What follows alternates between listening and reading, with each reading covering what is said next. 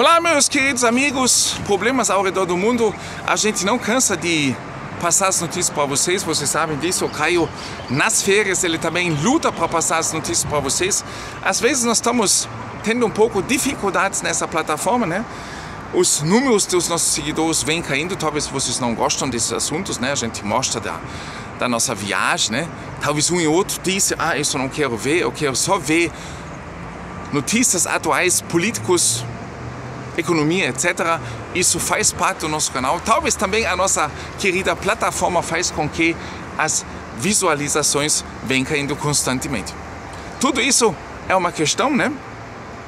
Mas a gente continua tentando informar vocês da melhor maneira possível e dessa vez do telhado aqui em cima do hotel, no centro da cidade de São Bento do Sul. E agora nós vamos falar de um oligarca ucraniano que prometeu 500 mil euros por um ataque de drones a Moscou. 500 mil, meio milhão de euros, vezes 5 e meio, mais ou menos 2,750 mil euros. 2 milhões 750 mil reais, aliás, reais. Uma virada emocionante na história do crime dos drones. Pensa bem, esses dias nós tivemos um ataque ao, a Moscou, ao Kremlin, de drones. Ninguém sabe né, de, de onde veio, quem é o culpado. Ambos os lados culpam o outro, como sempre, né? Nessa guerra, em todas as guerras, né? Sempre o outro tem culpa. E agora, então, nós ficamos sabendo que um industrial em 6 de abril e multimilionário ucraniano Vladimir Yatsenko ofereceu 500 mil euros por um ataque bem sucedido ao Kremlin. Isso ele disse ao vivo na TV ucraniana.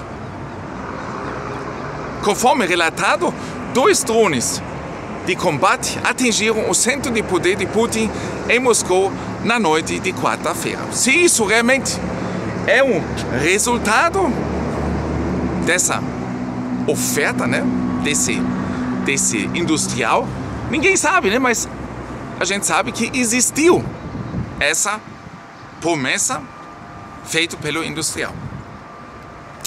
O Kremlin já prometeu retaliação contra a Ucrânia, enquanto os Estados Unidos consideram o próprio Putin como responsável pelo ataque de drones a Moscou. E agora, um vídeo de um oligarca ucraniano está causando alvoroço. Já em 6 de abril, o industrial apareceu na estação de TV TSN de Kiev e ofereceu uma recompensa equivalente a 500 mil euros a qualquer fabricante de drones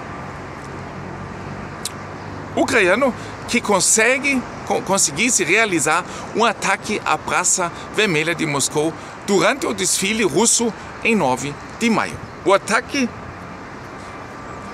não aconteceu no dia da vitória, conforme exigido, mas a mídia social já está discutindo que foi um ataque de teste. 9 de maio, agora nos próximos dias, vai ter um desfile na Praça Vermelha. E talvez isso agora foi um sinal, foi um teste até. Quem sabe, né? O dia 9 de maio é um momento muito oportuno porque Putin planeja um desfile na Praça Vermelha e haverá muitos militares por lá. Ou seja, serão, como eles dizem, alvos militares legítimos. Portanto, convoco todos os envolvidos na produção de drones. Isso disse o industrial ucraniano. Estou concedendo oficialmente um prêmio a um fabricante ucraniano de drones, cujo drone, com a ajuda dos militares, é claro, voará e pousará na Praça Vermelha de Moscou em 9 de maio. O valor do prêmio é de 20 milhões da moeda ucraniana, equivalente a 500 mil euros. Declarou oligarca na televisão ao vivo. Se isso tudo tem a ver com o ataque que aconteceu